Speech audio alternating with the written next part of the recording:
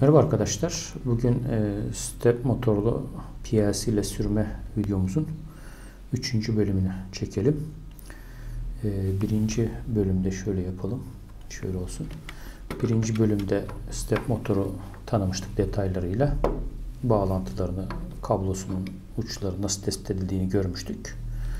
İkinci e, videomuzda da step motor sürücüyü tanımıştık üzerindeki tabloları okumayı, anahtarları, anlamlarını, klemenslerini tanımıştık. E, besleme bağlantımızı yapmıştık. E, bir güç kaynağından 24 volt vermiştik.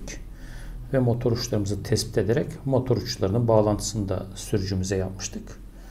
Bugünkü amacımız ise PLC'mizin çıkışlarını tanıyarak e, sürücü üzerine bağlantıların nasıl yapacağımızı görmek olsun.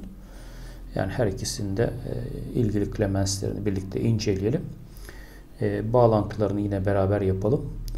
E, son videomuzda da uygulamalar yaparız veya son bundan sonraki videolarda da farklı uygulamalarla konuyu tamamlamaya çalışırız.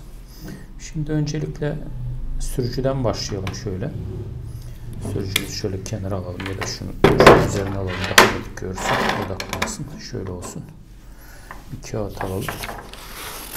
Da önce şuradan inceleyelim. Bir masaüstü. Şu devre üzerine bir bakalım. Şimdi burada gördüğünüz gibi bir kontrol devresi bulunmakta. Bu bizim PLC'mizi temsil edecek. Ortada sürücümüz zaten incelemiştik. Step motorumuz bir de güç kaynağımız bulunmakta. Şu besleme bağlantılarını yaptık geçen e, videomuzda. Motorumuzun bağlantılarını da yaptık. Bugün geldik PLC ile sürücü arasındaki bağlantılara. Buradan da görüneceği gibi iki bağlantımız var. İki farklı kontrol e, yolu var. Biri adım bilgisiyle e, gönderme, pulse çıkışı. Diğeri de yön bilgisi göndereceğimiz bir çıkış. Tabii ki her çıkışta iki kablo kullanacağımız için toplam dört tane kablo bağlantısı yapacağız. Bir de PLC'mizin çıkışına e, lojik seviyeyi vereceğiz. Birkaç tane bağlantı yapacağız. Nasıl yapacağımızı prensip olarak öğreneceğiz. Uygulamalı olarak da göreceğiz. E, bu PLC'de yaptığımızda Fatek PLC üzerinde çalışma yapıyorduk biliyorsun bu videolarımız serimizde. E, başka PLC'de prensip aynı olacağı için hepsini de yapabileceksiniz bu e, video serisinin sonunda. Şimdi şöyle yapalım yine gelelim şuraya. Şöyle alalım e, kağıdımızı. Muhtemelen odaklamamız iyidir. Şuraya sürücümüzü şöyle çizelim. Sürücü diyelim ya da PLC diyelim buraya daha iyi olur. PLC diyelim. Şu kısma da sürücü diyelim. Aynı resimdeki gibi olsun. Şurada da motorumuz vardı zaten. Step motorumuz. Şimdi bizim burada sürücümüzün üzerinde gördüğümüz bakınız şurada e, pull artı ve pull eksi çıkışları var. Bunlar PLS de yazabiliyor bazı sürücülerde. E, bunlar pulse çıkışları. E, dolayısıyla şurada işaretimizi koyalım o zaman. Pull artı diğeri de pull eksi yani PLS'de olabilir bu tabii ki. Çok net değil galiba. Biraz daha odaklamaya çalışayım kağıda. Evet daha iyi galiba. Şimdi e, şu kısımda pull artı ve pull eksi kısmın içinde girişte şöyle bir optokuplör devremiz mevcut. Yani bir ledden oluşan. Bunun içinde de bir direnç var. Şu şekilde R direncimiz. Şurası pull artı. Burası da pull eksi gibi düşünebilirsiniz. Yani amacımız aslında şu optokupların giriş kısmından bir akım geçirmek. Dolayısıyla her iki ucu da bağlantısını yapmak zorundayız. Kullanmak zorundayız. Şimdi bu sürücülerimizin girişi yaygın olarak 5 voltla sürülecek şekilde ayarlanmış. Fakat bizim PLC çıkışlarımız biliyorsunuz 24 volt. Dolayısıyla e, direkt bu PLC çıkışını bu sürücünün girişine bağlarsak şuradaki optokapların içindeki şu kısım hasar görecektir. E, dolayısıyla bizim bir seri direnç takmamız gerekecek. Neden böyle yapılmış? Çünkü bu sürücüler aynı zamanda mikro kontrol devreleriyle de sürülebiliyor. Onların çıkışı 5 volt. Dolayısıyla direkt 5 voltla sürebiliyoruz burada. O şekilde planlanmış. Ee, bazı sürücülerde 24 volt girişi de mevcut. E, direnci kendisi takmış. Fakat bunlar da mevcut değil. Genellikle çoğunda yok. E, servo sürücülerin bir kısmında var. Biz şimdi ona göre düşüneceğiz o zaman. Şimdi PLC'mizin bağlantısını yaparken PLC'mizin bir çıkışı olacaktır. Bu bizim e, FATEK PLC'lerde. FATEK yazalım şöyle. E, çıkışlar Y harfiyle isimlendirmiş. Y0 denmiş. Bir diğer çıkışımız da sıradaki Y1 olmuş adı. Şimdi biz e, Y0 çıkışını pars çıkışı olarak e, ayarlayacağız. Y1'de yön yapacağız. Şuraya yazıyorum Y0 pars yani adım Y1'de yön yapacağız. E, dolayısıyla şu Y0'dan çıkan hattın gidip bu sürücüye bağlanması gerekecek. Arada bir direnç koymamız gerekecek. Bu dirençte kabaca 2 kilo ohm, 2,5 kilo ohm arasında bir değer tercih ediyoruz gerilim düşürmek için. Çünkü burada 24 volt, burada 5 volt girişim biliyorsunuz. Arada bir seri akım sınırlama direnci kullanıyoruz. 12 volt ise yaklaşık 1 kilo ohm civarı bir direnç kullanacaktık. Burada 24 volt çıkış olduğu için 2 kilo hesaplama yöntemi var ama burada e, bununla uğraşmayalım. Zaman kaybetmeyelim. Şimdi Y0 çıkışından çıkacağımız ucu e, ucu kabloyu pull artıya mı pull eksiye mi bağlayacağız. Bu tamamen PLC'mizin çıkış türüne bağlı. Bizim şu an kullandığımız e, PLC'mizin çıkışları NPN tür çıkış dediğimiz çıkışı var. Yani negatif çıkış veriyor. Dolayısıyla şuradaki e, led diyodun ışık vermesini sağlamak için çıkışımızın pull eksi girişine gitmesi gerekir. Yani şu şekilde olması gerekir. Şuradan almalıyız. Bir adet direnç bağlamalıyız ve pull eksiye bağlamalıyız. Ee, eğer PNP çıkış olsaydı tersini yapacaktık. Burada Y0 çıkışını veya ilgili çıkışı pull artıya götürecektik. Tekrar edeyim. Bizim PLC'miz NPN tipi PLC. Şimdi bu PLC'lerin e, çıkış bloğunda, çıkış klemenslerinde bir de ortak uç var. C ucu, common dediğimiz veya farklı isimlerle anılabiliyor. NPN tipi çıkış olduğu için bizim güç kaynağından buraya eksi bağlamamız gerekir. Yani sıfır hattını veya negatif hattını güç kaynağını buraya bağlamamız gerekir. Çıkış aktif ol dediğimizde buradaki negatif hattan yani güç kaynağından gelen negatiflik PLC'den transistör üzerinden geçerek buradan e, sürücümüze dirençten sürücüye sürücüden de artı uca ulaşacaktır. Bu artı ucumuzu da bu defa e, boşta bırakamayız. Çünkü buradaki ledin yanması için devreyi tamamlaması gerekir.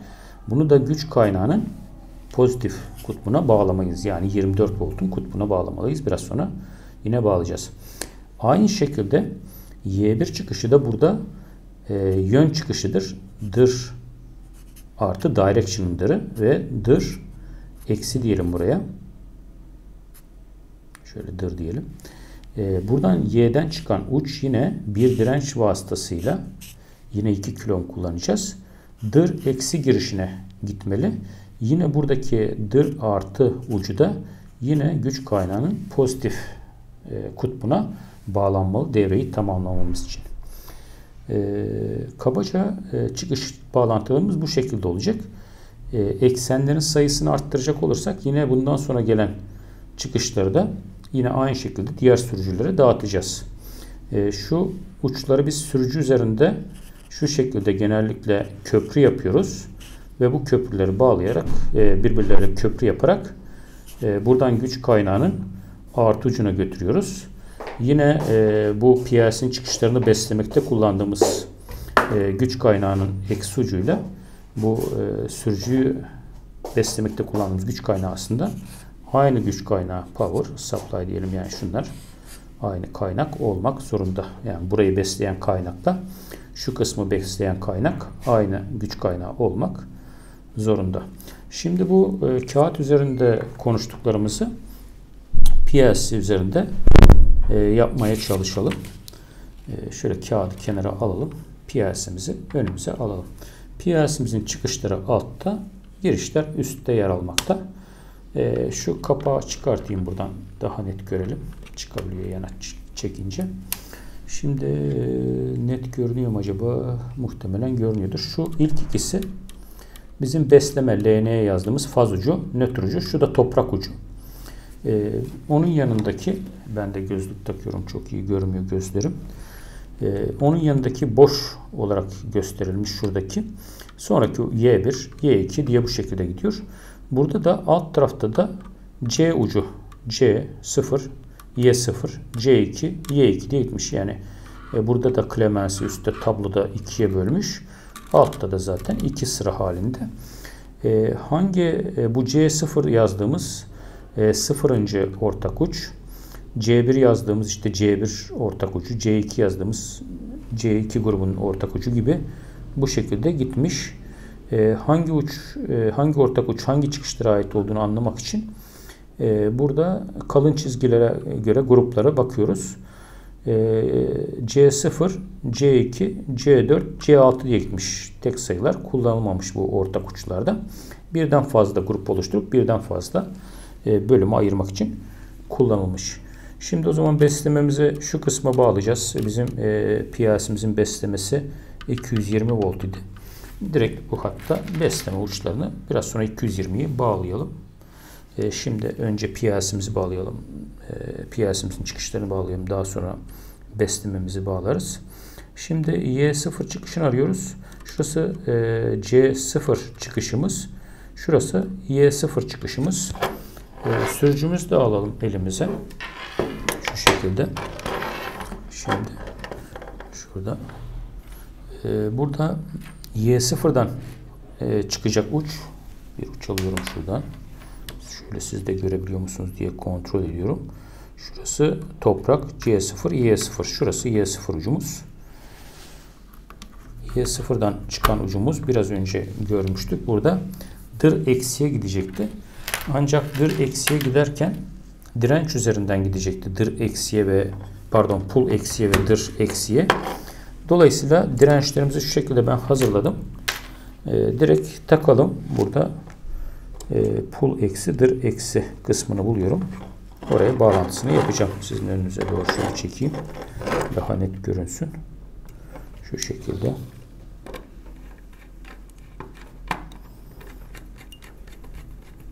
Dediğim gibi 2.7K idi galiba bu dirençler. 2K civarı bir direnç işimizi görür. Pul artıya bağladık yanlışlıkla düzeltiyorum. Pul eksiye bağlıyorum. Yani pulsün eksi girişi burası. Diğerinde dır eksiye bağlıyorum. Şurası şöyle. Biraz önce e, sürücüyü anlatırken anlatmadığım bir giriş daha kaldı. Bu da enable girişi. Bu enable girişine de lojik 1 verdiğimizde e, motoru boşa alıyoruz. Yani enerjisiz kalıyor. Enerji tüketmemeye başlıyor. Fakat elimizde çevirdiğimizde dönüyor. Dolayısıyla e, eğer motoru frenle bırakmak istemiyorsak, boşta dursun, enerji sarf etmesini istiyorsak Enable'a yine ilgili çıkıştan bir vererek bunu da sağlamış oluyoruz. Şimdi dirençlerimizi bağladık. E, pulse girişini, eksi girişi bakınız şurasıydı. Y0'a gidecekti. Hemen şöyle düzeltiyorum buradan. Y0'a şuradan alıyorum. Y0'a bağlıyorum. E, Y0 seçmemin sebebi e, ee, PLC'yi biraz sonra yapılandırırken bir sonraki videoda yapılandırırken Y0'ı pars çıkışı olarak belirleyeceğim. Onun için öyle yaptım. E, şimdi yön bilgisini de burada dır eksi şurada görüyorsunuz.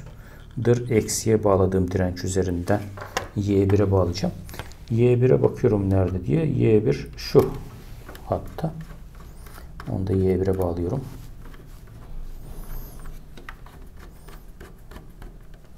Başka yapmam gereken ne var şimdi? Burada pul artıyla pul eksiği e, kısa devretmem gerekir. Şöyle yapıyorum onu. Hat üzerinden. Ve onu da artıya götürmem gerekiyordu. Biraz önce çizmiştik. Şuradan dır artı ve pul artıyı kısa devretmek amacıyla bir köprü yaptım.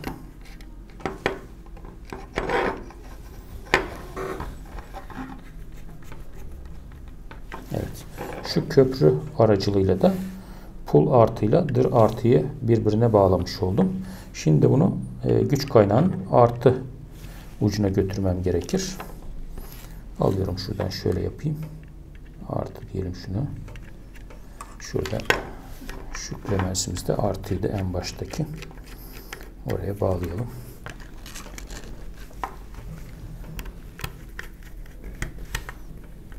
Evet. Şu hattı 4 artı pul artı ile birleşti ve güç kaynağımızın pozitif ucuna gitmiş oldu. E, dır pul eksi pul eksi ucumuz e, Y0'a gitmiş oldu. Pals. Bu da dır eksi ucumuz da Y1'e gitmiş oldu. Şimdi aynı zamanda güç kaynağının e, eksi ucuyla e, piyasimin ortak ucunu birbirine bağlamalıyım. Şurası C0'dı yani birinci grubun ortak ucuydu. Şu şekilde şuraya bir kablo götürüyorum. Buradan da güç kaynağımı ortak güç kaynağı kullanıyorum biliyorsunuz. Şurada eksi ucu vardı. Buradaki eksi ucuna bağlıyorum.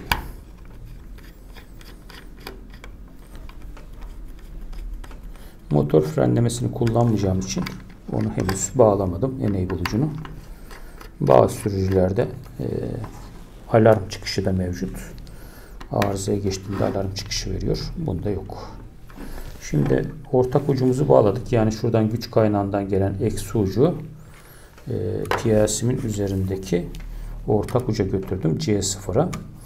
E, yine ilgili çıkışları da sürücüye bağlamış oldum. Şu an e, motor bağlantım tamam. Bir önceki dersimizde yapmıştık zaten. Sürücü bağlantılarımı da yaptım. Prensibini anlattım. E, PLC'nin çıkışları da bağlı. E, PLC 220 volt enerji vermek kaldı. E, bir sonraki videomuzda e, PLC'mize enerjimizi verelim.